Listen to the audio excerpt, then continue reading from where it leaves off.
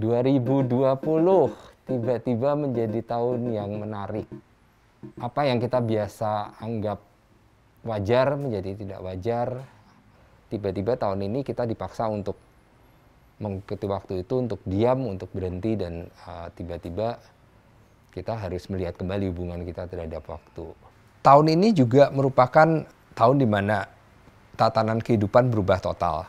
Kita dipaksa untuk beradaptasi dengan cepat dan berinteraksi secara lebih uh, virtual di mana uh, internet, sosial media tiba-tiba menjadi patokan kita dalam menentukan bagaimana kita membuat sebuah logika, membuat pendapat terhadap sesuatu. Angka-angka yang ada di dalam karya ini bukan kalender merupakan angka-angka yang biasa kita lihat dalam mendefinisikan waktu. Uh, ketika kita biasanya melihat angka-angka itu sebagai sebuah penanda waktu yang uh, yang menentukan bagaimana pencapaian kita dalam uh, suatu rentang waktu, akhirnya tahun ini kita dipaksa untuk melihat angka itu ya hanya sebagai angka itu gitu.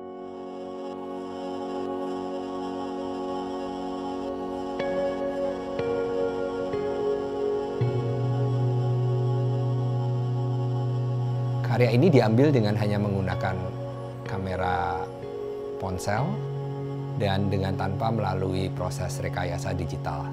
Ternyata menjadi sebuah uh, pendokumentasian yang menarik dari sesuatu yang sangat sederhana.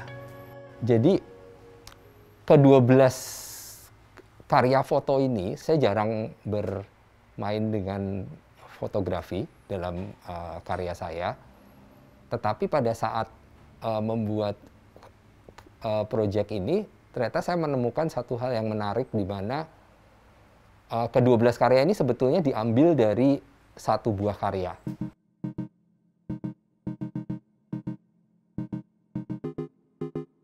Seri karya ini bukan kalender, buat saya adalah sekaligus sebuah refleksi, tetapi juga sebuah ironi terhadap tahun ini tahun di mana ketidakpastian mungkin menjadi satu-satunya hal yang pasti.